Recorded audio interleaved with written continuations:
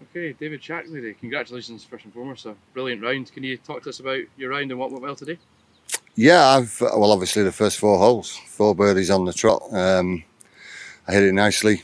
I stone dead at the first and eight feet the second, eight feet the third, and then I made a great up and down out the the cross bunker in front of the green there. Um, so I've been putting. I worked hard with my coach on my putting and my golf swing last few weeks, and uh, I mean the greens are pure. So uh, luckily enough, I've found a little something, and uh, yeah, I'm I'm delighted the way I've putted and played. To be fair, but yeah, that was a great start, really. Do you think it's down to that in terms of you, you know, doing the extra work off the course? Is, is Yeah, yeah, because I've been worse than poor this year. Um, to a point where you start looking at, well, I need to get a move on here because you know we've already had sort of four or five. This is the fifth event, so uh, yeah, you try not to think about it, but it's always there. Um, yeah, and it's not been fun for me. I've got to be honest, but it never is when it's not going well, you know. Um, but yeah, I've worked very hard. I went to see my coach Simon Edwards a couple of times uh, in between Trevose and here because something needed fixing drastically, and uh, hopefully we've hit on something, and it's uh, it's all starting to click in. It feels quite good at the moment.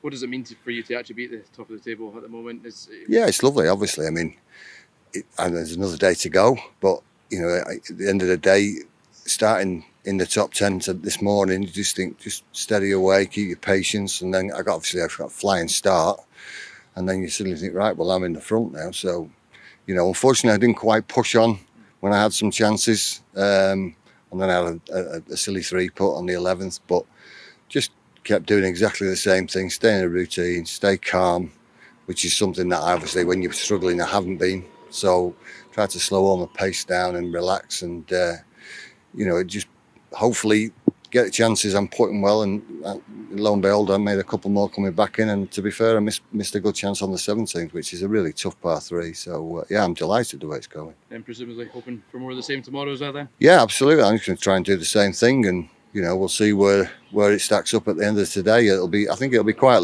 bunched, um, but you know, it's uh, it's there to be lost or won, isn't it? So uh, you've got a chance. Okay, David. Thank you very much. Thank you.